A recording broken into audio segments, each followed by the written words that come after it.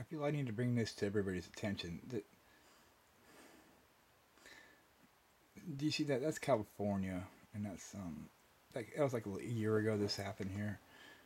It looks pretty gnarly, but that's definitely man-made. Obviously, we never have that happen out here off the coast of California. I've never seen that in my life. Okay, so they're steering all the chem yuck they're spraying up there, right? So they're steerable. It's definitely steerable. Okay, now think about this. It's it's dust. It's real small particles, right? So what does it take for rain to happen? It needs to have something to grab onto. The, the moisture needs to grab onto a dust particle, right?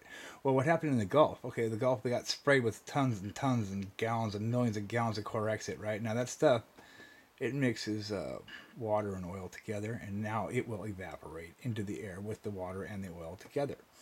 Okay, now, what does it need? It grabs onto a dust molecule. What is it? Chemtrails, dust molecules.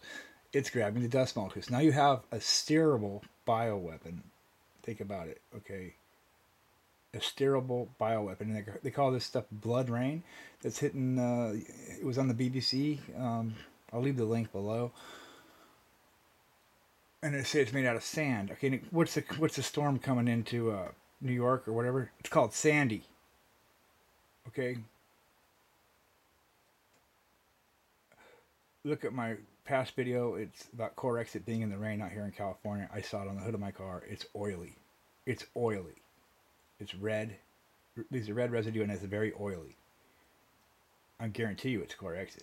It's, uh, this is a steerable bioweapon system they have going here. They can steer weather anywhere they want, and it's going to be saturated with Corexit from the freaking Gulf because it. What else could it be?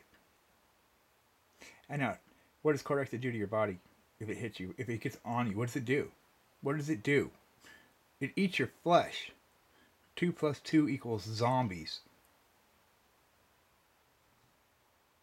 Over and out.